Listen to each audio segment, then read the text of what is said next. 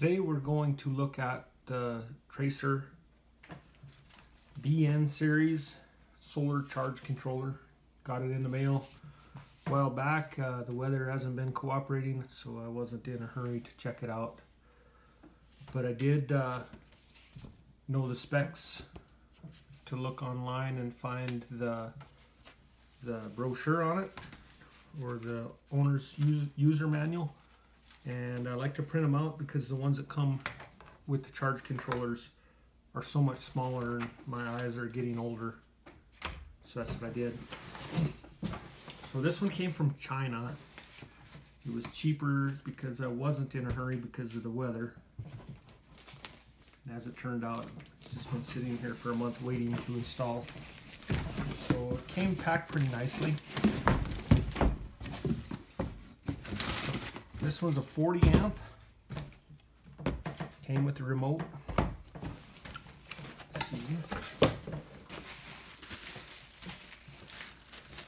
This is the communication cable. And battery temperature. The, this temperature is going to be very helpful. I am replacing the Renogy 40 amp controller uh, it's it's the Tracer uh, 42010. No, I'm sorry, it's 4210RN. Even though it's 40 amp, it's got a limit of 400 watts. Well, I'm going to be putting 600 watts through this. Uh, the reason I chose the this one, it, it uh, states right in the paperwork that uh, your maximum solar it will take is 520 but if you exceed that and if you exceed your amps it doesn't shut down it doesn't damage the controller it actually just limits the output to 40 amps. Can't ask for better than that. So as long as I'm on the subject the way I have my solar set up I have 400 amp 100 watt panels on one side of the trailer and then I have two more for a total of six. On the other side of the trailer the chance of all four of them making or all six of them making maximum at the same time is very little. So the times that I'll actually make uh, 40 amps is going to be fairly limited. I won't be losing very much power from the limiting section of it. Let's see what's in here. Oh yeah, here's the here's the owner's manual that comes with it.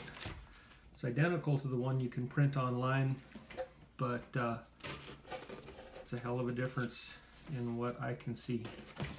So this is a very heavy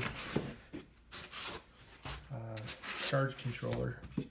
It's got these huge heat sink in it for natural ventilation to uh, cool it. Doesn't rely on any fans. And not needing fans also increases the efficiency if you're not running a fan to operate it. Here's the instructions for the remote meter. I believe this is going to be very self-explanatory, just like the one I had for the Renogy system.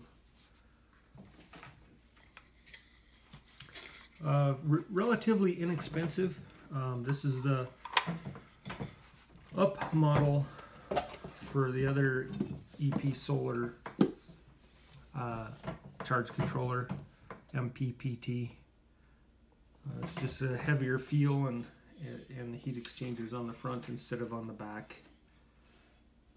Since I was going to use this towards the maximum capability of the charge controller, I wanted the, the more expensive one, hoping that the quality would be better and it would take the, take the excess load better. Anyway, hang around. We'll install it uh, uh, in a few weeks and show you what how it works.